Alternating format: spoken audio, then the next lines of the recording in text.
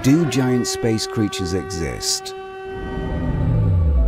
In today's latest movies, we see monsters from other dimensions, so large they float around in the vacuum of space, feeding off planets and other energy sources.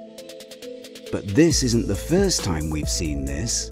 In Star Trek's Galaxy's Child's episode, the Enterprise spaceship is attacked by a large space-dwelling creature, which happens to be pregnant and is feeding off the energy of the spaceship as a form of milk. Even though this is science fiction, could giant space creatures actually exist in the vastness of space? What would the requirements be for a creature of this magnitude to exist? What would they eat? What would they look like? And would we be able to detect these creatures? These are some of the questions which we will explore today on Forbidden Knowledge. If you think about space as a cosmic ocean, then just like the ocean, it could be conceivable that there are more than just rocks floating around it. But in order for such a creature to realistically come into existence, what conditions would be necessary? 15 million years after the Big Bang, the average background temperature of the universe is much higher than it is today. In the energy-rich environment, life develops evolution runs rampant, and at first these organisms are tiny, but they spread rapidly through warm space to avoid being annihilated by supernovas and other cosmic catastrophes. These organisms are doomed. The universe is cooling, available energy is dwindling. Perhaps this evolutionary stress causes the organisms to get bigger and bigger to survive.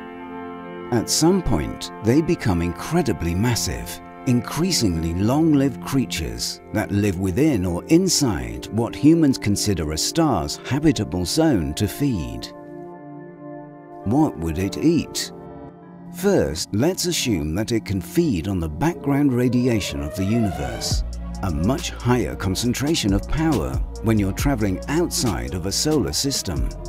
Still, even if you can feed off all forms of radiation, it's not enough.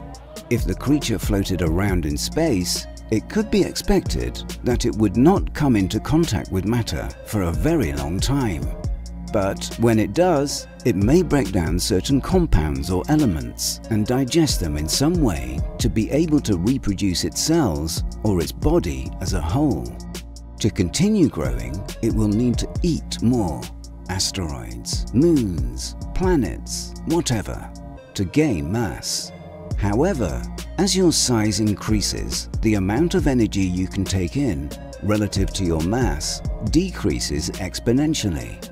And since movement ability is proportional to mass, that means it's quickly becoming difficult to produce enough.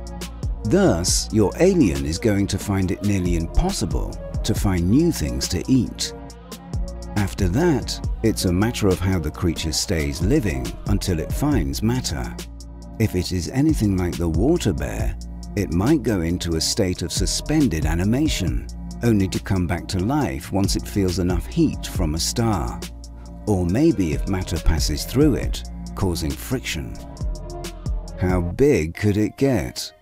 Every time your alien doubles its size, it needs to take in exponentially more resources.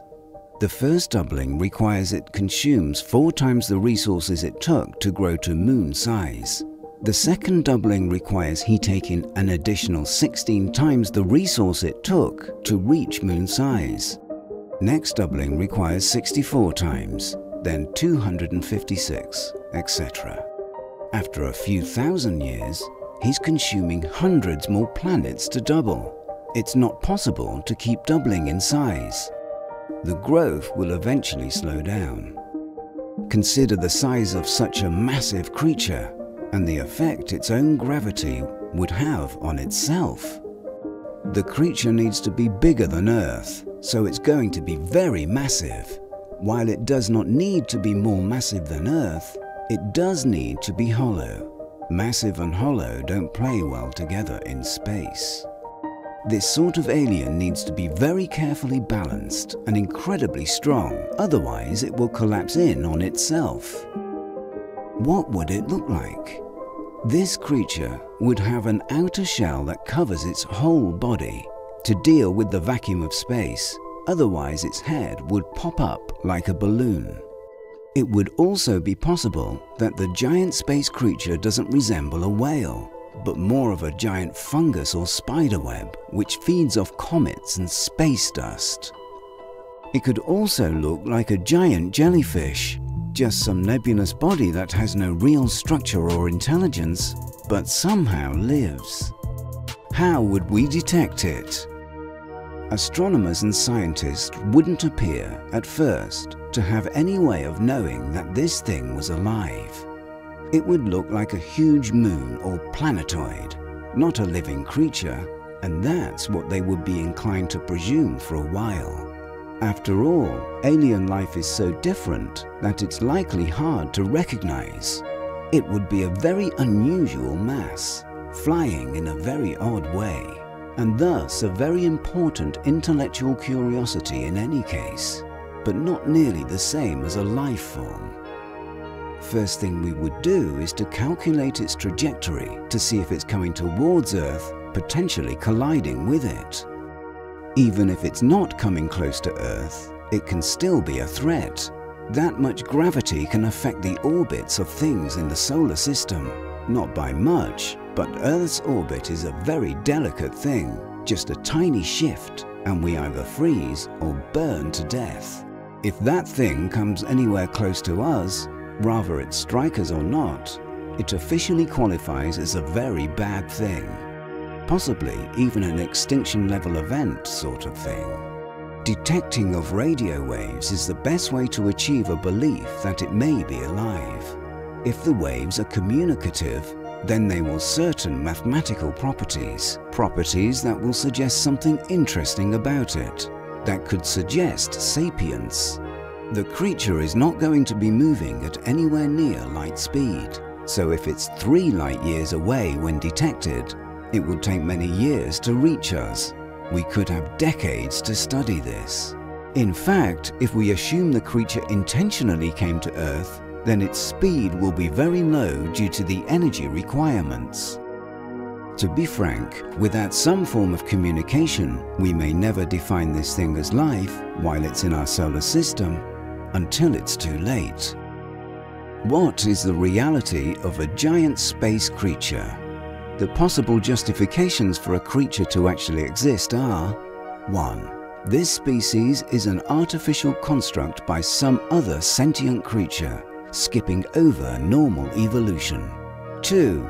This species is a hermaphrodite equivalent, capable but not limited to asexual reproduction, and has in the past evolved in an environment where a huge number were close enough together to have a social culture and evolutionary pressures towards intellect to compete for mate choice. 3. The sapiens evolved from a very different and smaller creature in a world with other space-faring predators, and only after sapience was achieved did an asexual variant get produced and spread out on its own. There are tons of possibilities to how life forms in the universe, it's crazy to think about things we might not have even anticipated. So, what do you think? Do you think there's living creatures swimming around in space? Let us know below and don't forget to like and subscribe. Some things in life are known only by a few, and those who possess this knowledge rule the world. Subscribe to Forbidden Knowledge for weekly videos to expand your mind. Thanks for watching.